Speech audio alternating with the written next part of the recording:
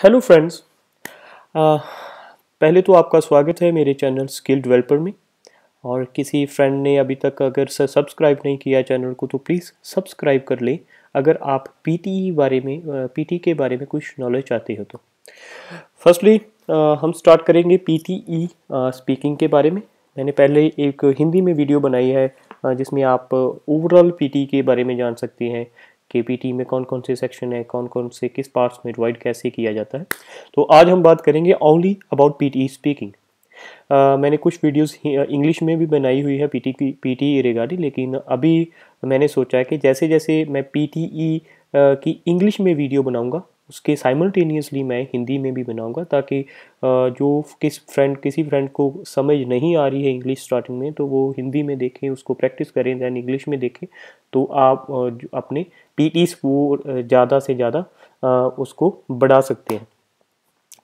तो फर्स्टली हम स्टार्ट करेंगे about P T speaking P T speaking क्या होती है? फर्स्टली जो पी टी स्पीकिंग है, वो बहुत इंपॉर्टेंट पार्ट है पी टी ई का। स्पीकिंग बहुत ही इंपॉर्टेंट पार्ट है बिकॉज़ जो पी टी ई स्पीकिंग है, इसमें आपको रीडिंग के भी मार्क्स मिलते हैं।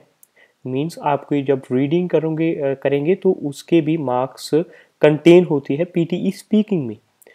तो इसलिए सबसे इंपॉर्टेंट पार्ट है जो पी टी ई का, वो है स्पीकिंग अगर आप ओनली स्पीकिंग में आपके अच्छे मार्क्स आते हैं तो दूसरे जो मेड्यूल है लाइक रीडिंग राइटिंग और लिसनिंग उसमें से आपके मार्क्स ऑटोमेटिकली बढ़ जाते हैं।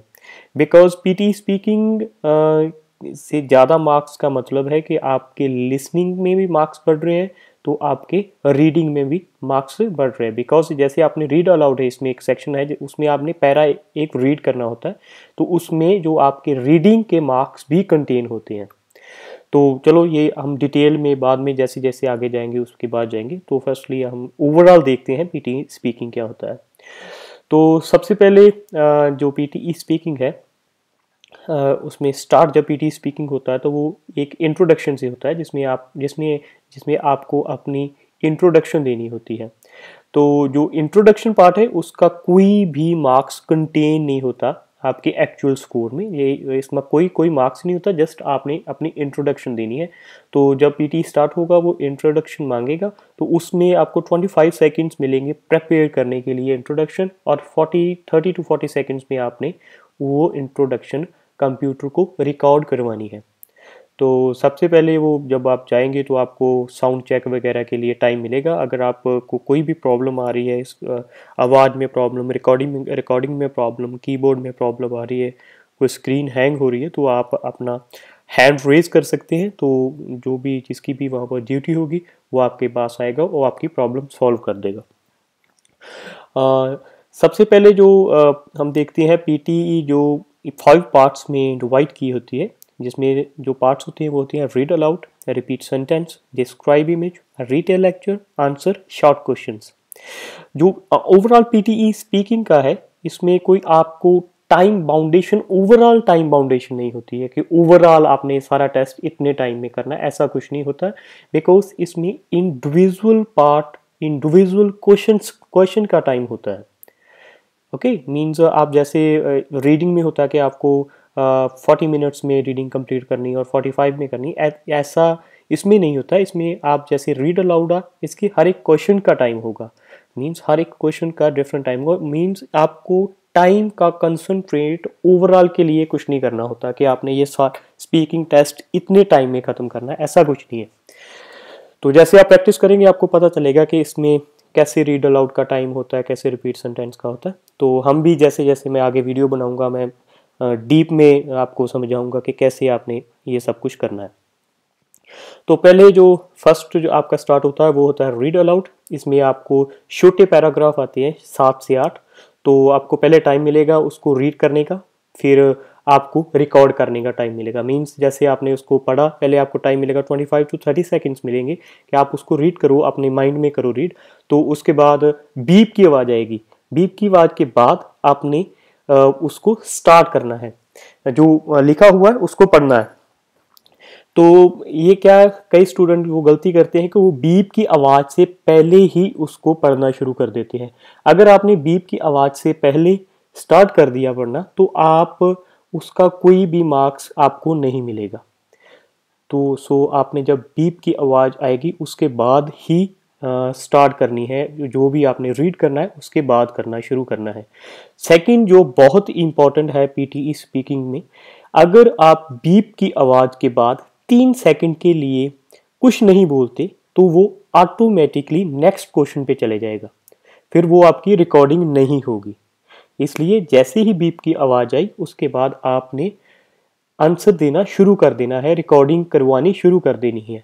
In every part like repeat sentence describe image read lecture and answer short short question three second से ज़्यादा अगर माइक में आपने कुछ नहीं बोला तो वो ऑटोमेटिकली कट हो जाएगा। तो वो उस इंडिविजुअल पार्ट के आपको मार्क्स नहीं मिलेंगे। जैसे आपने रीड अलाउड का फ़र्स्ट पैरा पढ़ा बीप की आवाज़ आई, तीन सेकंड के लिए आप कुछ नहीं बोले, वो कट होके सेकंड पैराग्राफ पे चले जाएगा। Understand okay firstly read aloud आपको मैंने बता दिया, सात से आठ पैराग्राफ होते हैं, उसको आपने रीड करना होता है अलाउड जो कंप्यूटर को रिकॉर्ड करवाना होता है, सामने लिखा होता है, उसको पढ़ना होता है। लेकिन जितना ये साउंड इजी करता है, उतना साउंड है नहीं, आपको थोड़ी प्रैक्टिस करनी पड़ेगी। उसके बाद होता है रिपीट सेंटेंस रिपीट सेंटेंस में क्या होता है कि कुछ वर्ड्स कुछ सेंटेंस होते हैं, वो कंप्यूटर आपके हेडफोन में आपको सुनाएगा तो उसको आपने रिपीट करना है। मीन्स जो बोलेगा उसने आप, उसको आपने रिपीट कर देना है सिंपली एज इट इज़ जैसे ही कंप्यूटर ने बोला. Third part is describe image describe image में क्या है? सात से आठ इमेजेस आएँगी लाइक बारग्राफ जैसे आपने देखा होगा कि आइलेट्स में होता है राइटिंग में बारग्राफ होता है। ऐसे ही इसमें बारग्राफ आएगा पाई चार्ट हो सकता है, कोई डायग्राम हो सकती है। उसको आपको पहले टाइम दिया जाएगा 25 टू 30 सेकंड्स टाइम दिया दिया जाएगा प्रेपरेशन के लिए। उसके बाद आपने 40 सेकंड्स के लिए उस डायग्राम को, उस इमेज को डिस्क्राइब करना है अपने वर्ड्स में। आप, आपने वो डिस्क्राइब करनी है इमेज अपने वर्ड्स में। तो ये तो हो डिस्क्राइब इमेज ये डिस्क्राइब इमेज बहुत इंपॉर्टेंट पार्ट है, बहुत मार्क्स कंटेन करता है अकॉर्डिंग टू माई थिंकिंग उसके बाद क्या होता है? रिटर्न लेक्चर रिटर्न लेक्चर में क्या है कि एक आपको दो से तीन ये आएँगे, एक आपको लेक्चर सुनाया जाएगा जो लेक्चर दो से तीन मिनट का हो सकता है। तो उसको आपने 40 सेकंड्स में उसको रिपीट करना है इन योर ओन लैंग्वेज तो आप, आपने क्या करना है, जो आपकी लैंग्वेज है उसको रिपीट करना है। तो मीन्स वो जो आपका सॉरी जो आपका लेक्चर है जो आपने लेक्चर सुना है ऑलरेडी उसको जस्ट अपनी ही लैंग्वेज में रिपीट करना है कि ये वाला लेक्चर था। वो 40 सेकंड्स में आपको कंप्लीट करना होता है। Last one is answer short question it is very simple ये बहुत इजी क्वेश्चंस होंगे, जैसे आपने अगर टेंथ तक जो बच्चे पढ़े हैं, उन सभी को वो आंसर्स पता होते हैं। तो उसमें इजी क्वेश्चन होते हैं like what is the opposite of east ऐसे क्वेश्चन होते हैं। तो आपने वो आंसर देना है, आंसर शॉर्ट क्वेश्चन इसको बोलते हैं। वो एक और दो वर्ड का आंसर होता है, जो आपने देना होगा। ये तो था पीटी स्पीकिंग इसके बाद, इसके ओवरऑल बारे में एक बात और एज फॉर माई नॉलेज इसमें जो रीड अलाउड है describe image and read lecture ये तीन जो पार्ट हैं पीटी स्पीकिंग के, ये ज़्यादा मार्क्स कंटेन करते हैं as compare to repeat sentence and answer short question so आपने ज़्यादा से ज़्यादा कोशिश करनी है कि read aloud describe image and retell lecture आपका बहुत बढ़िया हो। तो इसमें जो सबसे इंपॉर्टेंट तीन फैक्टर्स हैं, वो हैं सारे स्पीकिंग सेक्शन में pronunciation intonation and fluency pronunciation means कि जो आप प्रोनाउंस कर रहे हो वो मीन्स uh, कंप्यूटर को समझ आना चाहिए। मीन्स वो बिकॉज़ जैसे आप बोलते हो तो वो कंप्यूटर उस बात को रिकॉर्ड करता है तो वो उसको समझ आनी चाहिए। इसमें ए, कोई ए, ऐसा नहीं है कि आपका एक्सेंट जो ब्रिटिश होना चाहिए ऑस्ट्रेलिया होना चाहिए ऐसा कुछ नहीं है। आप इंडियन हो तो इंडियन एक्सेंट से बोल सकते हो। लेकिन जो वर्ड है, उसकी समझ आनी चाहिए। मीन्स आप किसी किसी से इंग्लिश में बात कर रहे हो, आपने ये सोचना है दिमाग में कि आप किसी पर्सन से बात कर रहे हो तो वो आपकी बात समझ रहा है और के नहीं समझ रहा। मीन्स उसको समझ आनी चाहिए। ये होती है प्रोनाउंसिएशन इंटोनेशन मीन्स ये सारे स्पीकिंग सेक्शन में इंटोनेशन प्रोनाउंसिएशन एंड फ्लुएंसी के ही मार्क्स हैं। इंटोनेशन मीन्स होता है कि जैसे हम कोई बात करते हैं, जैसे मैं हिंदी में बात कर रहा हूँ तो कहीं पे मैं अपनी uh, कहीं पे रोक रहा हूँ आवाज़ कहीं किसी चीज़ में स्ट्रेस दे रहा हूँ किसी में कहीं पर जैसे ऐसे ही ऐसा होता है कि रीड जैसे आप पढ़ोगे रीड अलाउड उसमें जैसे कॉमा है उसमें थोड़ा रुकना है फुल स्टॉप में ज़्यादा रुकना है जो इंपॉर्टेंट वर्ड है उसमें स्ट्रेस देनी है ये होती है इंटोनेशन एंड मीन्स कि जब आप बोलो आपकी फ्लुएंसी ज़्यादा से ज़्यादा अच्छी होनी चाहिए. मीन्स जैसे आप डिस्क्राइब कर रहे हो इमेज को डिस्क्राइब कर रहे हो तो आप कॉन्टीन्यूसली उसको इमेज को डिस्क्राइब करो। मीन्स उसमें आप रुको नहीं, आप याद नहीं करने लग जाओ। मीन्स वो कंप्यूटर है। तो कंप्यूटर जैसे आपको पता है पीटी एक कंप्यूटर रिगार्डिंग टेस्ट है। कंप्यूटर आपका टेस्ट ले जाता, ले ले रहा है। तो इसमें ज़्यादा आपकी फ़ायदा है, फ़ायदे हैं। बिकॉज़ जो कंप्यूटर जब रिकॉर्डिंग करता है तो आप उसको कई तरीक़ों से हैक कर सकते हो मींस कई तरीक़ों से उसको बेवकूफ़ बना सकते हो कंप्यूटर को। तो बट इसमें कुछ कॉन्स भी हैं कि आपको, जो आपके वर्ड्स क्लियर होने चाहिए अगर कंप्यूटर को नहीं समझ आएगा तो वो आपके मार्क्स कट कर लेगा।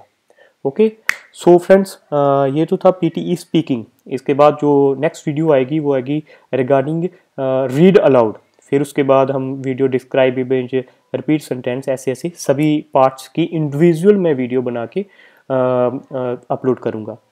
So thank you very much अपने विज़िट करने के लिए आपका बहुत बहुत धन्यवाद। तो मेरी तरफ़ से आप सभी को best wishes for your future तो आप आप पीटी कर रहे हो, आपका पीटी क्लियर हो। And don't forget to subscribe my channel thank you thank you very much